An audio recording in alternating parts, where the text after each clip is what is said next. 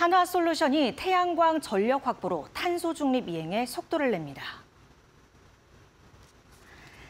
한화솔루션은 한마음 에너지와 재생에너지 공급 인증서 REC 장기 구매 계약을 체결했다고 밝혔습니다.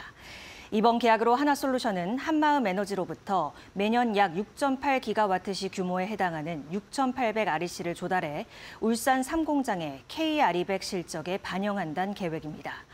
REC는 재생에너지 발전 시 발행되는 인증서로 기업은 이를 통해 신재생에너지 사용에 대한 인증을 받게 됩니다.